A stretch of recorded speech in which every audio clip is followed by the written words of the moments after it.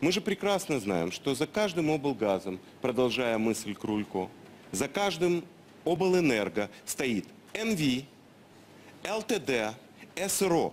И то, что вы делаете, любой маломальский юрист, вот я думаю, кто-то возьмется за это дело, вам докажет, что вы субсидируете офшоры.